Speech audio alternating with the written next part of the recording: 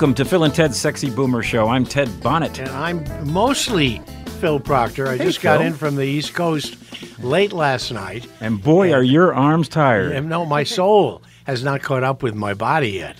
You know, the soul travels at the speed of a camel.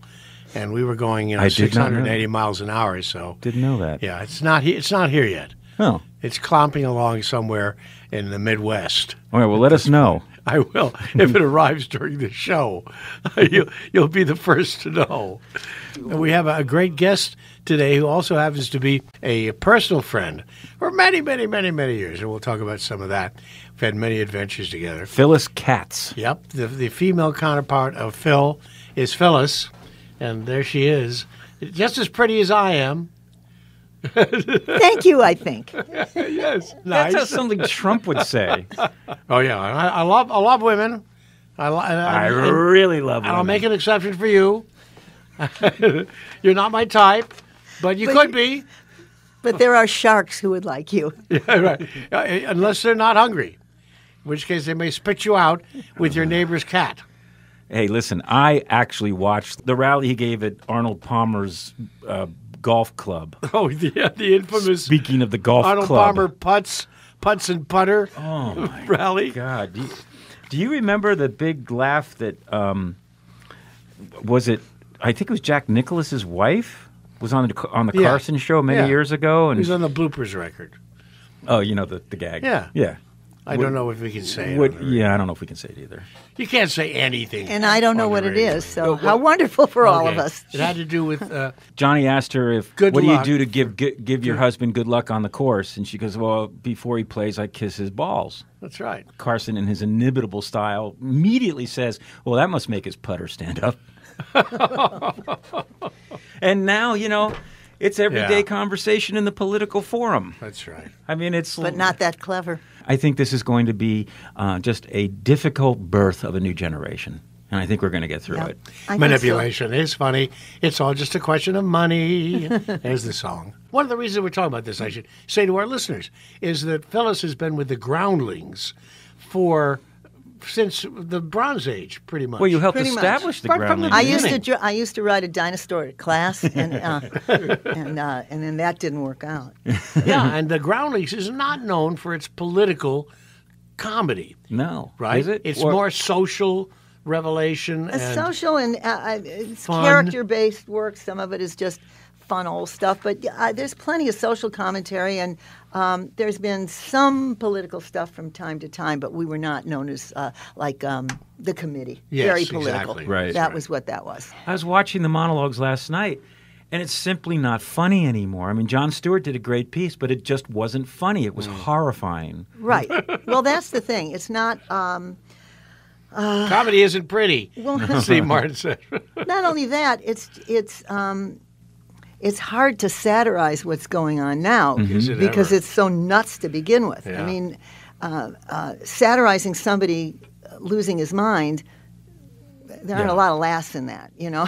Yeah, and when and and when there's no bottom, I mean, that's his secret to his success, thanks to Roy Cohn, which is deny everything and perpetuate the lie. Right. You create your new normals. Which I understand And if you is have yeah. in, in the film The Apprentice, Yeah. which is out now. Right. And if you have no moral compass whatsoever, if you are a malignant narcissist with a criminal record and you're facing sentencing next month, you'll say anything.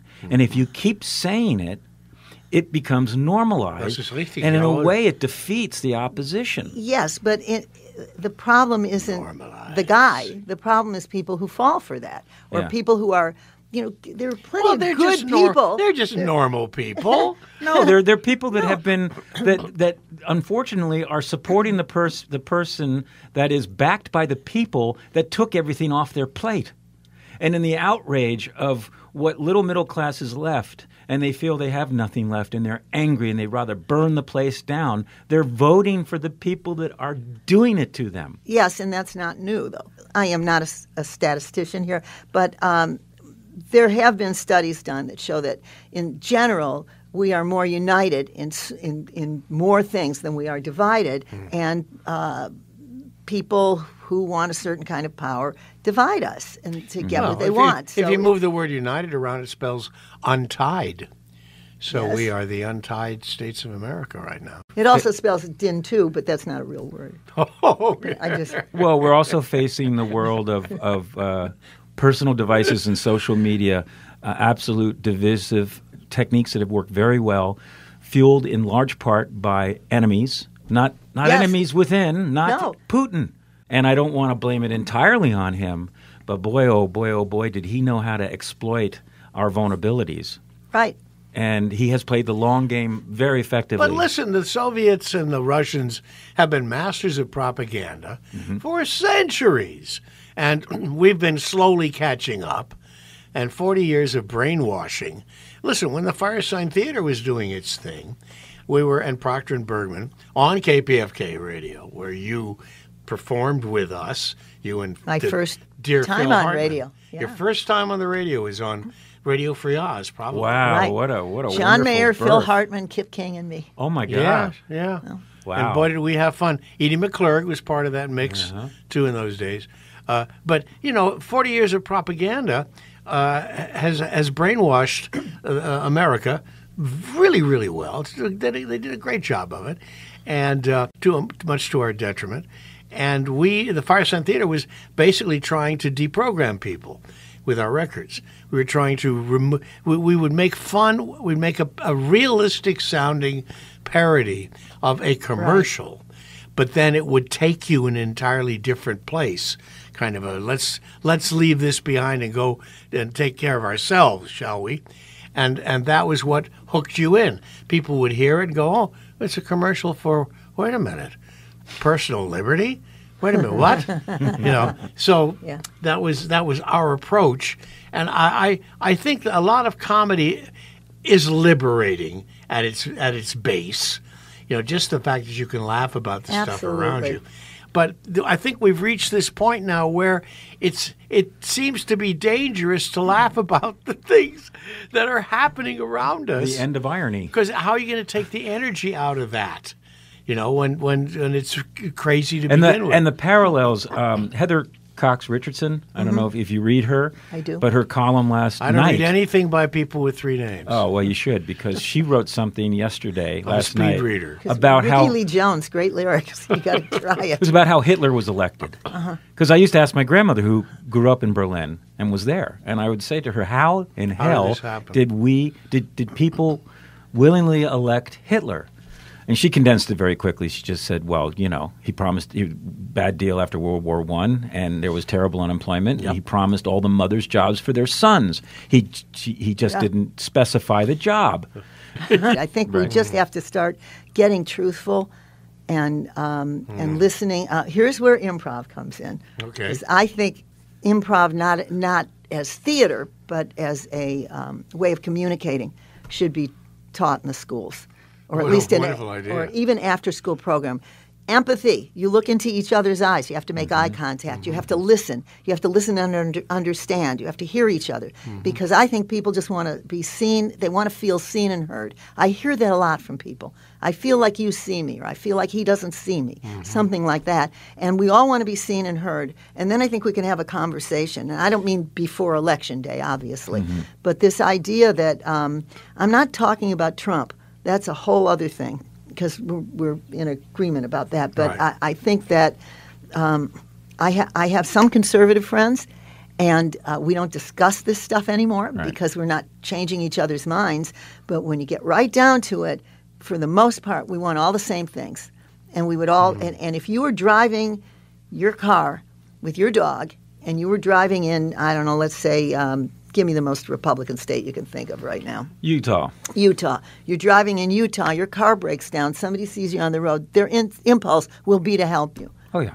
And so that's what we're, we're There are a lot with. of fine people in Utah. there are fine people. there are fine people I mean on that both genuinely. sides, If you can and find there them. are maniacs. I on spend a both lot of time there, and there are a Yeah. lot of wonderful I know. people there, no Utah matter what has their just been political listed persuasion. as one of the safest states in the Union, Mm-hmm. along with Vermont and uh, Afghanistan. But getting back to your uh, g- g- Afghanistan, where's that? The Northwest? I'm just reading the Oh, list. oh, okay. Um, He meant Alhambra. He's, his eyesight. Oh, yeah, you're right. It's an eyesight I'm sorry. thing. my eyes are not very getting good back to the improvisational aspect Uh-huh. of groundlings, that's your background. You teach it. You Mm-hmm. you helped found the Groundling School, and it, it, it's interesting. You, you brought up that point about the value of, of interchange and communication, uh, particularly now. Uh, because uh, schools are uh, secondary schools, uh, universities are now, you know, liberal arts is so unpopular in so many ways because it doesn't removing it from yeah, because it's not making money. But some colleges are instituting it as uh, requirements, even for STEM students, because it's forcing them to create character and judgment and literature and decision making. Yes. and bringing back a conversation. And when you have a society that is divisive and undivided in their devices, improvisation is actually a really excellent tool to get people out of their shells, do improv just to learn how to communicate. Yes, I mean, I, I it's interesting you mentioned the phones because that's what made me think of this in the first place. My um, my husband either read this or heard this on public radio, a discussion about how um, many kids at schools were uh, in the cafeteria on their lunch break uh, on their phones and not talking to each other. Now, I remember that as the loudest, most rowdy Yeah. uh, Cafeteria. yeah, 40 sure. minutes of your day. Right. And uh, it, it depressed me. And I thought, this is ridiculous. We got to do something. And I started making notes to, to do this. I thought, we, we got to do this. Train teachers, go fly to places and train the teachers so they can do this. And then the pandemic hit. And then everything got worse. So I think some of what's going on, the any incivility, also has to do with uh, uh, we all went through this thing together for Yeah. for quite a while, and then we're readjusting to it. I, I don't blame it for everything. I just think it's in the mix. But absolutely, I mean, I, I do corporate improv teaching, and sometimes uh, somebody will call and say, um, uh, "We've we've got a group. We want improv." Sometimes, oh, it's our retreat. We just want to have fun. Sometimes it's team building. Uh, sometimes it's we want one department to know how to talk to the other department, and and Oh, um, good. Yeah, yeah, good, and good. so you just design it based on that. But it's I've seen team leaders say, "Oh my God, I never saw them get that goofy. I never saw them get playful. I never. I, I did one in Australia, and it was. Uh, I asked the. Um, I guess he was the owner of the company. It was some financial firm, some financial firm, and I said to him, um, let, "Let me know if they're introverted or extroverted." And he said, "Oh." They're numbers guys. They're they're in, introverted. They're not going to. They're going to do this, but they're nervous about it. Well, within five minutes, I saw that wasn't really the case. That may be what they're like at their desks. Right. But I would imagine when these guys go out after work, they have a really good time. and so once I knew that from the warm up, and then so after it was over, um, the um, man who hired me said, "I've never." Seen them like this. I would never have known they could do hmm. this. And the thing is, of course they can. They're people. Yeah, right. We all played when we were kids. We didn't wonder how it was going. Yeah. We weren't being judged. You're just playing. Wouldn't that be interesting to incorporate improv classes from, say, middle school through high school into college, where it's basically forced social structure? The, the, the essence of improv is listening, isn't it? Well, yeah, and being saying- in the moment. It, and it's also saying yes, Yes. to everything, which is very Because interesting. the rules of improv. Well, I mean, there are a lot of guidelines. Uh, the one that seems to be um, universal, no matter what school you go to. If you're going to if you're going to an improv school and it's any good, they're going to teach you some version of yes and, and uh, that doesn't mean uh, if you say to me on stage. Um, uh, um, I- I'm gonna I'm gonna steal all your money. I have to say yes, and I like that. No, you just have to agree to what the person set up The premise. the premise. You're agreeing to the premise. But it gets you to get off your own idea, which is hard to do at the beginning. Get off your own idea if somebody else presented something first. You have to let that go and go with what's That's happening really in the a good explanation of it. Wow, Thank and you. that, and so uh, reflective of how people are entrenched these days in their beliefs, their thoughts, their positions. you learn more about yourself after a while. Yeah. And and you and and uh, how to relate to people. Um, I had somebody who took a musical improv class with me, and she signed up several times, several rounds, and she said to me at one point, I do this because it's cheaper than therapy and it works. Because you get to express yourself and make it up, and people are people are applauding you for it. And, Yeah. and uh, it, it's it, not to say that it's it's a real easy thing in terms of doing it on stage. It takes a, it takes a while. You have to learn it and get your reps in like anything else. But as a social thing, it's Yeah. It's in there already. It's been beaten out of you. I mean, it's almost like party playing charades at parties and Yeah, having you're, great given permission to do silly things and to, Right. In school, I can almost see like a physical education class. But that's what I mean. Eh, That's exactly what I mean. I, I've done some after school programs, one with Peter Bergman, Radio Club. Oh, I remember he that. Created. Oh yeah, that's right. He created Radio Club and uh, teachers. schools. Yeah, Yeah. we Yeah. would go in. It was an after-school program, and we would. This was not improv. Yeah. But we and the kids they didn't know what radio was. Yeah. They thought of it as DJing. But Mm-hmm. we would. You would write. They would all together. You would write a radio play and perform it after several weeks, and and the were- average was sixth graders, Yeah. fourth to sixth grade. I did it in fourth grade with when my daughter was in fourth grade, Uh-huh. and we they I just came in as a parent, and we decided to do a Halloween Uh-huh. uh, uh, audio piece, and had all the kids come up with ideas and then write them, and then um, and then I scripted it, and then they came over to our studio. And I had them all do wild line reads because they just weren't, you know, Yeah. were just starting out, and had every one of them do line reads. And then we edited it together, and those kids flipped. I Yeah. think, you know, I, I, I- I hope I didn't lead any astray down down a, a desired path to get into for- radio. or yes, anything get like into that, radio. but- My dear late Or wife, die. my dear late wife Melinda Peterson and I were also part of a program where kids. It was called the something neighborhood. I can't remember what it's called now, but kids would write That's their wh- play, right, and then they, we performed them as they wrote them in front of a live audience. That's Virginia Avenue Project. That's it. the because Virginia that Avenue was in there. I, that was the next thing I was going to mention Okay. because they were um, This was in Santa Monica. yes, Yes. and it was uh, started by Leigh Curran. That's right, It, it lasted for about 25 years, and then she moved on. She's living somewhere else right now. Yeah. But um, these kids, they were at-risk kids. And they were in a program that started, I believe, when they were seven years old. And there was some. It was um, teaching them about life through the arts.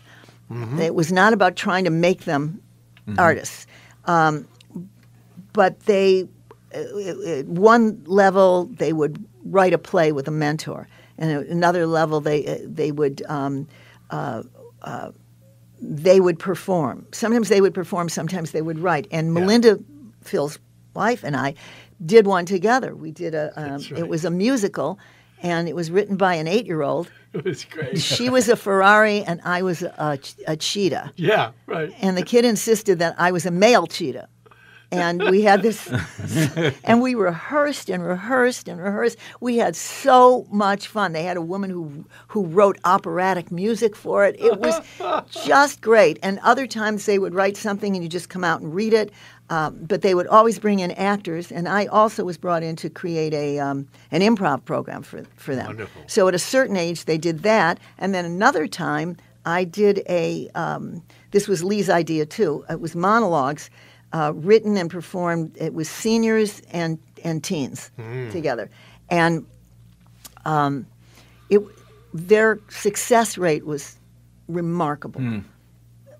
A hundred percent of the kids, I believe, graduated high school so- in the 90 percentile range, they went on to college and were the first. Some were the first Yeah. in their family to do it. Uh, one of them came back and worked in the uh, Obama administration. It was So learning these how things to work. learn how to think on your feet. It was so funny when you say elderly. My same grandmother I was telling you about, she taught me comedy and improv. I mean, when she was in her 80s, grandmother? yeah, yeah, when she was probably in her 80s and I was still in my single digits, Mm-hmm. we would when I visited her. Did you think it was funny when she fell down?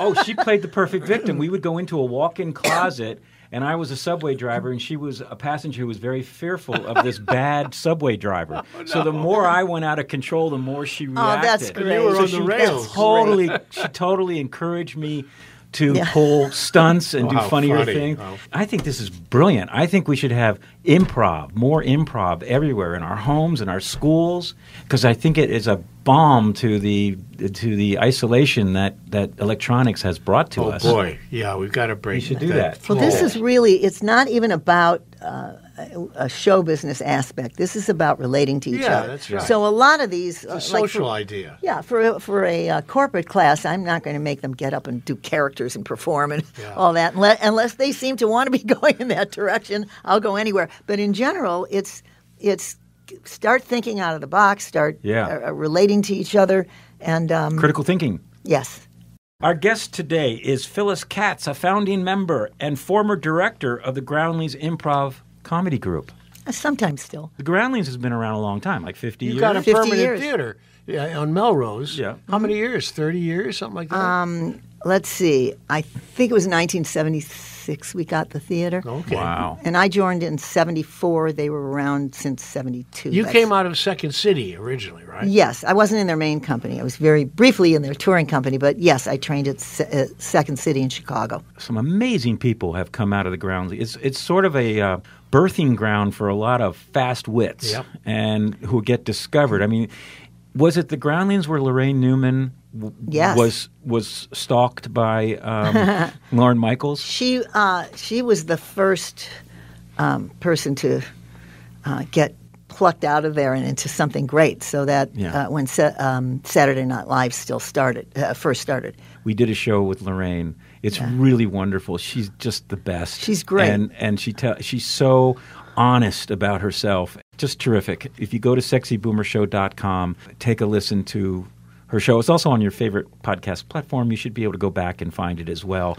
But Laraine uh, told a story about how she was discovered at, at the Right. Groundlings. That was such a fertile time for so many Well, Phil. Hartman is the other character that, That most people later. are acquainted Yeah. with. Yeah, later. but there were so many: Jon Lovitz and, and Will Ferrell and Jennifer Coolidge, and and and, and Yeah, people who people who had full careers as writers, and uh, I mean, I can't even list all the names, and um, uh, and people who you've never heard of who came through that. Now you just had so a 50th brilliant. anniversary Yeah. party. Yeah, What last night? Saturday. Saturday night at the Jonathan Club downtown. Yeah, on the roof, Wow. How many it- people showed up?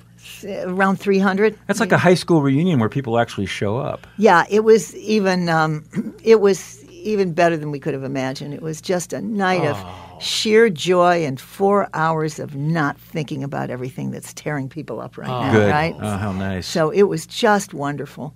Um, just a nice night celebrating um, uh, the the fun of this, making people What laugh, it- writing. If you can go back to those early days, Mm-hmm. um, what was what was the magic that made so many stars? I think part of it was that I viewed it as an artist community. We weren't. uh, We, yes, we were individually ambitious. We all wanted to be writers and actors, and uh, and we were loving improv.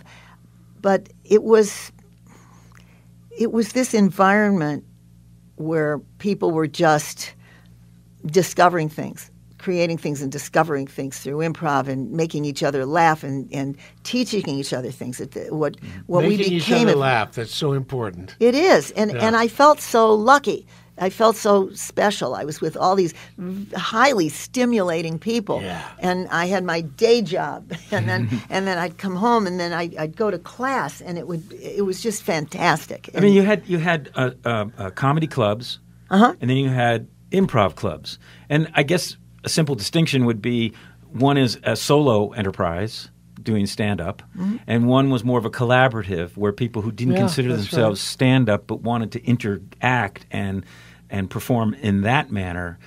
Uh, Because it was just easier for them, or it was just came more different. natural to them. We have people now in the school who also do stand up. yeah, I mean, I think if you do if you do one thing create one creative thing, you do a lot of creative things. Yes, So so I, I mean, Well, you're very musical, for instance. You teach musical improv. Yes. And you have written three TV themes. Yes, and I only remember off the top of my head two of them. Uh, and one was, uh, uh, I'm, I'm sure They everybody. probably all sound the same anyway. Yes, I, you, I'm sure you all remember Women in Prison. Oh, Uh, sure. but uh, Oh. Ray Colcord was uh, the musical director at the Groundlings So and my talented. very close buddy, and he's no longer with us. But Ray Colcord went on to score a lot of TV and film, and we did uh, a considerable amount of writing together. And uh, so we wrote the theme song to Scorch. We wrote the theme song to Women in Prison, and um, uh, and I can't remember. Oh, Almost Vegas. That was Tim Stack on Showtime. Ah, right, right. Being in love is almost Vegas. I remember that was the first line. Back in the mid 70s, when Saturday Night Live debuted, which was sourced out of these cl- out of these organizations, right? I mean, Mm-hmm. it had happened before. I mean, you had Flip Wilson, you had Laugh-In, you had Carol Burnett, you had shows that did skit and sketches. Right. well, and you had shows. Mike Nichols and Elaine May started Right, in, and, right, and the, right. and That's- the committee that's and, and Second City and uh, Compass right. players, all those people that. But Uh, the Compass players back east also. yeah, But was it what was unique to that time that made the Groundlings different? You think? Well, sometimes I think there's a gestalt going on because look at what Lorne Michaels was t- putting together in New York and what was happening in San Francisco with the committee. And Gary Austin, who started the Groundlings, uh, was uh, had been in the committee. Bill Steinkellner and I had been in Second City. People were coming from different places, but I think what was happening um, was that some of us who when I say we felt different, I don't mean I felt like I was alone in a corner and nobody wanted to talk to me. It wasn't that kind of different. But creatively, all of a sudden, I found myself in an environment that um, appreciated me in a certain way mm-hmm. creatively. Because for everything else, it's like, well, you want an acting job, you're going to go audition. You Yeah, want a writing yeah, job, yeah. you have to write a spec script and submit it and all that. Here, it's like, hey, we're just having some fun and we're getting creative. And oh my God, wouldn't this be a great sketch? And oh, oh, well, no, we were wrong about that. Hey, we're right about this one. I They're dying three, I have three words: Pee Wee Herman. Yeah. Where else would you expect to see the birth of such a, an incredible, crazy? That came out of a class I taught. oh, it did. Gary, he did. Gary Austin used to have these scene nights once a month. You'd sign up on a sheet. You just say what you wanted to do, Oh, how long it was, Wow. and who was in it, and he'd put a running order together because it was only for us. It was only in house. I Oh, mean, you oh, could bring a friend, but we no tickets sold, anything. And so we did crazy stuff. We did stuff we knew would never get in the show. We did stuff that uh, we hoped would get in. So I had my, a class I was teaching do a night at the comedy store very, very late at night. and so everybody was doing a different comic, or they were doing a, a, somebody on the wait staff or somebody in the audience. And Paul said, I don't know what to do. And I said, I saw this Paul guy Reubens. at the comedy store, and he his humor was like grade school. He, he it was, it's like the jokes you thought were funny when you were six years old, Mm-hmm. and uh, and then he would wait for a laugh. And Paul said, "Okay, I'll do that." So I didn't create Pee Wee. No he kidding. created Pee Wee. Wow. And then he came out and started throwing Tootsie Rolls out in the, the audience. and then Gary Austin had an outside class, and uh, um, separate from that, and Paul went over there and started developing this and working on it and working on it. So it's a workshop and sort of the grounds improv that kind of thing is almost like if there is an entry level position to get into the business if you're if you've got talent that's a place where you can walk in and work your way in and and It's a safe place to be. yeah you well I mean it's a place where somebody can walk off the street if they have the talent Yep. and work their way in right But, yes, and I think, but it's not. It's not as um, formulaic as that, you know. And it's it's uh, a a lot of people say that if you have Groundlings, Second City, or UCB on your resume, um, they're you're more likely to get called in or taken seriously or something because they know you have that that a certain the- pedigree uh, the groundwork was laid. Yeah, I don't mean if you were in the company. I Yeah, mean if you studied there. Yeah. Okay. And I, I was helping um, with a casting session for something that'll take too long to explain at CBS a few years ago. And uh, one of the casting um, execs over there said to me, uh, I can always tell if somebody from who's reading for us is from the Groundlings because they understand character. So that that felt Some really good. yeah, but to yeah. answer your question about what it was like, um, uh, in the beginning, what was so special, it wasn't like, oh, we're going to get here and we're going to get picked there. I mean, you never know. I mean, there, like I said before, there are people you've never heard of who are so brilliant. And and sometimes they work, sometimes they don't. Some of them moved away again. Uh, but what was happening there was there was some kind of zeitgeist going on. And it was a very exciting thing to see live theater and things were happening on the spot. And then, uh, uh, and then all this that our generation had to say at the time as young people. And that's happening now. You got a new generation. Yeah, tell us about your new show. Oh, okay. Periodically, I do fake benefits at the Groundlings. And in honor of the 50th, we're doing one uh, on Tuesday, the 29th, um, at the Groundlings. And it's the benefit, uh, who, the benefit for Trainwreck Hoskins, who pissed away his money and needs your help. And it's mostly improvised music, and it's a train wreck is a record producer and composer, and we're going to look at his music over the last 50 years and try to raise money for him. Great cause. And that's Phil LaMarr is going to be Trainwreck Hoskins. I don't know if you know Phil, Phil LaMarr. LaMarr. And I have a wonderful cast, and uh, so we'll be doing that. But we do those periodically. We did the benefit for to buy Harper Sharfman higher SAT scores. Um, and I did another benefit to help Bitsy Petroskas get some of her teeth fixed. You know, so we do them periodically. so if somebody wants to see this, Um, Groundlings, go to the Groundlings uh, Website. website and look for benefit. ground, groundlings.com. yes, and I'll be there. Look for me. and this is on Melrose in Hollywood. on Melrose, seventy three oh seven Melrose. Very comfortable theater. Very friendly. Very friendly. Easy to get to. Yep. Great. And it's uh, Tuesday night, and if you look for benefit for Train Wreck Hoskins. Question: When you brought up uh, Pee Wee, um, Andy Kaufman, did he co- go through? Was No. he? He never came. But through? he was around. Yeah. The- I mean, not the Groundlings, but s- Yeah. when you said some were stand-ups, we would everybody would wind up at the Improv or Canter's, whether they were doing improv or hmm, right. they were doing or they were doing stand-up. We would all wind up at those places. So What was the we- name of that place? This the what room? The French room? The Viper Room. Oh, oh, the Kibitz Room. The kibitz room. The Kibitz room at at Right, Canter's. It's still there. Yeah, it's Kibitz still room. there. Yeah. This sounded like a really wonderful, dynamic social scene too within all of this. It was. a lot of smart, funny people. I remember seeing sitting at the Improv one night in the front where the bar is, you know, not, not in the main room where the shows were going on, and sitting around a table. We'd all had class, and um, and I remember laughing so hard, and I had this moment where I kind of pulled back, and I thought. We are all going to be so successful. we are going to have such a great life. And I look now, I, I can go back to that and I think of what happened and didn't happen and should have happened and could have happened. And, it's like, oh, well, I'm glad I didn't bet the farm on any of that. You know, but We're talking to Phyllis Katz, uh, a founder of the Groundlings and the Groundlings School of Improv. Teacher. This is Phil and Ted's Sexy Boomer Show. We're heard every Tuesday here on KPFK, and you can also hear our shows um, going back uh, many, many years now. Yeah, we've been doing this for three years Um, or so, right? uh, yeah, they're well over sixty we've, shows We've been now. doing this at the speed of a camel. That's right. and you can find it all at sexyboomershow.com and also on your favorite podcast platforms.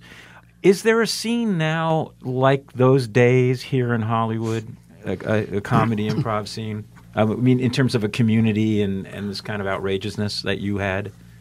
Sure. I mean, I don't know what uh, f- feels like a newer form, but we didn't invent the form. It had been going Mm-hmm. Right, on since sure. the '60s, uh, but uh, or maybe even late '50s. Oh, I don't know. It went back to to uh, uh, Italian comedy, La Commedia. That was, those characters were all created out of improv, with masks. Right. Remember? Right. All that stuff. Right. So it's it's an ancient tradition. but I'm talking about the scene of doing this and turning well, of it course, to sketch. and contemporarily, yeah. I understand. Of course. But sure, there's always something new. I mean, I'm around young people all the time, so it's like yeah. What are they bringing to the table? um, they're they're bringing their perspective. Well, you have the luxury of a perspective going back decades. Mm-hmm. Um, you've seen so much, well, we all have seen so much change in this country. What do you observe in terms of what's different about the comedic mentality today? Well, there's there are more TV shows, there's more reality shows, there's YouTube, there's TikTok, Mm-hmm. there's social media, and so it's people. I think Influences. influencers. So it depends on it depends on how serious people become about what they want to do, right? Do you want to be an artist? Do you just want to make a lot of money? What do you, you know? Uh, so there's there are all different things going on, uh, but I do think that. Um, I think people are as enthusiastic as they've ever been. It's just that you have to. Uh, Well, I'm not saying this is what this generation is doing because it's. I see a lot of them at the Groundlings. They're just they they just remind me of us, right, when we Oh, were good. younger. And um, uh, but there, the difference here, as I can think of it now, is that we weren't well known when we started. We were just trying to stay afloat. Now they get they come to the Groundlings Theater. You're a brand. Yeah, we're a brand, and I um, so I have mixed feelings about that. Uh, I want to be a person. I want to be an artist, but but the Groundlings brand is certainly something I'm proud of. But it's it's not Well- everything, and what they're doing is they're they're um, um, they're finding their voices with us. Yeah. So where it's going to take them, I don't know yet, but it's really fun when you see them take off. Ashley Padilla just got Saturday Night Live. She's one of Oh. the newer members of the company. Wow. And um, she just got Saturday Night Live. Is she the one that went to Santa Monica High School? There's a there's the new one new cast member. Uh, Probably. Yeah. Tall- Probably. kind of a tall brunette. Well, she's got reddish hair. Yeah. Anyway, there, there's someone yeah. from Santa Monica High that's on the on the cast. She's funny. I mean, there, Yeah. it's. She's great. Yeah. I mean, she's she's I think it's such a testament to you, Phyllis. You've been doing this for so long, and yet, you know, you're just alive Oh, and being you. looking for the funny things in life. And God knows, there's a lot of uh, opportunity right now. Yeah, and what kind of drugs are you on? I am proud to say none. Yay! Phyllis Katz, thank you so much for coming on our show. Thank you. Come and see her really show. Phil and Ted's Sexy Boomer Show here every Tuesday on KPFK at 1 o'clock and at sexyboomershow.com. Thanks so much for listening. Thanks, Thank Phyllis. you, Phyllis. Thanks, Phil. Welcome home. We'll see you next Thank week. Thank you. Oh, here comes the camel.